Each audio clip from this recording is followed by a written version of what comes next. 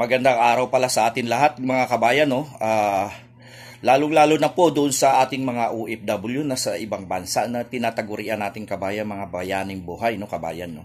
Uh, hindi natin matutukoy kung anong oras doon mayroon sila kabayan o araw man o gabi kasi dito sa atin magkakaiba tayo ng oras kabayan no. Uh, sa madaling salita, kung araw dito sa atin, gabi sa kanila, o so, sa madaling salita, uh, pinagkakaisa natin sa salitang magandang araw, kabayan. Araw man o gabi, uh, magandang araw sa inyo, kabayan, no?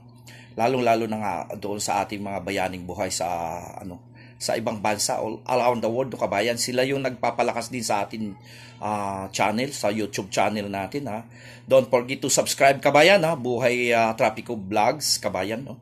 Hindi na natin ginagamit yung vlogger kasi ibang mukha ang lumalabas doon, kabayan. No. Napirata tayo sa punto ng ganong kabayan. No. So, ang atin ginagawa, kabayan, no, inuulit ko, hindi lang ako nagbibigay ng traffic situationer kabayan no? Sa pagdaroon ako sa lansangan sa kalsada so kasi nagmamaneho tayo every time no? Uh, nagbibigay din tayo ng mga magagandang balita magagandang traffic situationer hotel and restaurants kabayan mga pagkain mura so kabayan so tsaka mga location ng mga magaganda kabayan uh, inano natin.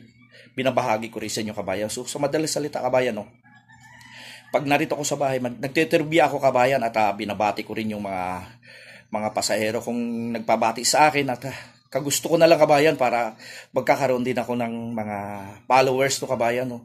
Uh, ito kabayan no, naisip ko pala kabayan na hindi pala magkakaugnay yung ano, yung tubig.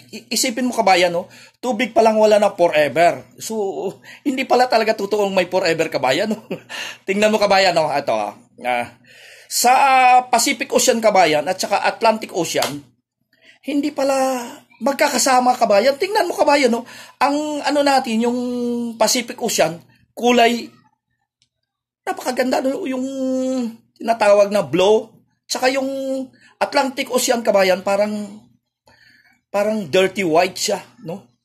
Ang tinutukoy ko doon kabayan kung bakit nasabi kong hindi magkakaugnay, hindi magkakasama kahit magkakalapit sila kabayan, Parang may molecule siya kabayan, may chemicals na parang yung tatawagin natin tubig at langis na hindi siya pwedeng maghahalo kabayan. No? Ang nabubuhay sa Pacific Ocean, yung Pacific Ocean kabayan, belong dito sa sa atin, no? sa Pilipinas at saka sa karating nating mga ating mga bansa. No?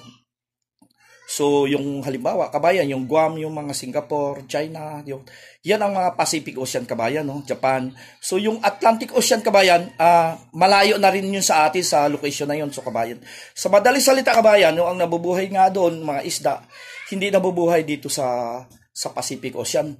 Kabayan, yung ang ano pala doon kabayan, may dito pala sa atin, anong pa kabayan? Excuse me po.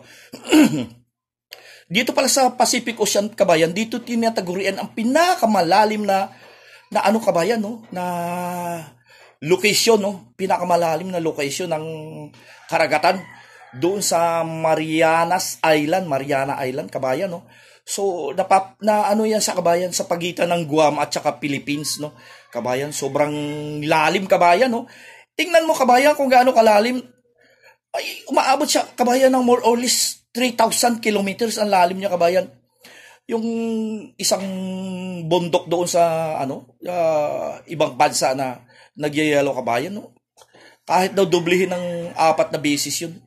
Tapos si balik rin na uh, pailalim, hindi katumbas. At may haba sa kabayan, kung gaano kahaba yan. 1,554 kabayan. At bago, na, bago natin ito, ano kabayan, ipagpapatuloy kabayan, no? Uh, binabati ko pala si ano si Jerica Aquino, Grace uh, Malunis, Ruel Raico, Katrina, Alicia, Rachel, uh, Al uh, Galbero Rini, uh, Vincent uh, Bristol, taga mga taga ano pala sila kabayan. Itong uh, Bicol no. At saka Alasas family no kabayan. Uh, tsaka yung boyfriend ng anak ko kabayan baka magtampo.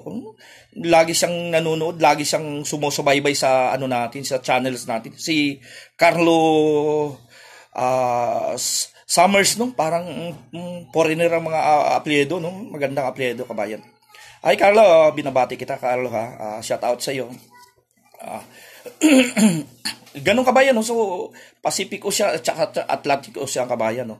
Uh, hindi magkakaugnay, hindi magkakasama. So, may mayroon din tayong konting na idadagdag na trivia kabayan doon sa may ano, uh, Lipa Batangas o Lipa City, uh, Batangas kabayan, no. Taga pala yung uh, isa sa girlfriend ni ano, Jose Rizal, no.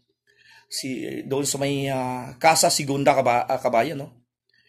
Napakaganda kabayan, no. So sa madaling salita kabayan, yung ano natin, yung uh, binibigay ko sa inyo, binabahagi ko sa inyo na ano trivia uh, kabayan. Uh, okay naman siya kabayan, no, di ba? At uh, kabayan may naisip pala ako no kabayan, no. Doon sa ano sa nung time na nagkakaroon kami ng salo-salo na tinatawag na ano kabayan, no. Yung uh, tinatawag na kamayan, so bodol fight kabayan, no nagbibilang na, 1, 2, 3. Eh, nagkakainan na lahat kabayan, mayroon isang ali na naghahanap pa rin ng tinedor at kutsara. Gusto, kabayan, gustong, hindi, siguro, sosyal, no? Uh, ayaw magkamay, no, kabayan. No? Naisip kong, kakantahan ko siya, kabayan, para, sabi ko, kakantahan ko kaya to para kumain dahil, bakit kaya hindi talaga makakain-kain ng uh, hindi walang tinidor at kutsara kabayan. Naisip ko kabayan na sa channel ko pa ya, hindi lang pala hindi lang pala kabayan na bagjok lang ako ganun. Hindi lang ganun kabayan no. Ang ginagawa ko kabayan, minsan naisip ko kakanta din ako kabayan. So naisip ko yung ano yung ali na kakantahan kabayan no. Sabi ko sa kanta doon kabayan para lang kumain. Hindi ko na kailangan pang tinidurat kutsara, magkamay ay mas mainam pa. Kabayan, lumingon siya sa akin, parang nagpahiwating na gusto na niyang kumain. Pero inulit ko kabayan para talagang ma, ano, ma, mahulog sa isip niya na, oh, ano to?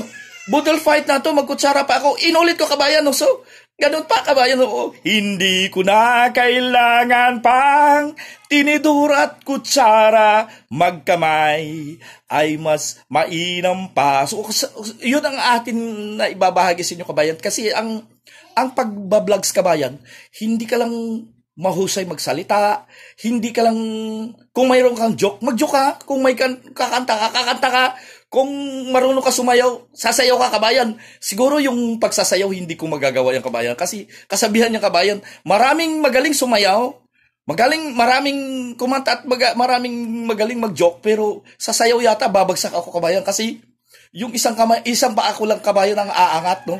Eh, pangit tingnan kabayan no. Imbis na matutuwa ang tao, eh baka mamaya batuhin pa ako so, kabayan. Hindi hindi tayo obra sa sayaw kabayan no ay, yung isa kong anak kabayan, magaling yung sumayaw. Magtatambling pa yun pagka nalalasing. uh, binabati ko pala si ano, Jason, Jason Disukatan. Jason Calderon Disukatan. No? Tsaka si Jessa, no? kasama ko rin yan sa bahay. Shout out pala sa inyong mga anak. Jessa, Jason, no? Dito Dexter at saka Joshua. At saka yung panganay kong taga Mindanao kabayan, naroon, nag-asawa ngayon. Matindi. Like father, like, uh, ano, like son. So, pero, ganun pa man kabayan, maraming salamat. Ah. Inuulit ko kabayan, sa kantahan pala kabayan, pag natutuwa yung mga Bisaya sa sobrang sarap ng pagkain nila kabayan, sumisigaw sila kabayan, no? Alam mo paano nila sa sasabihin kabayan? Okay ka! Okay kayo! Lami kayo! Pag nasasarapan pala kabayan, iba pag ang mga Bisaya kabayan, no? Ay, mga Bisaya dyan, Visayas Mindanao, yun ang salita nila eh, no? Okay ka! Okay kayo! Lami kayo! Okay kayo! kabayan. Ganyan. kabayan, no? Magandang araw sa atin lahat.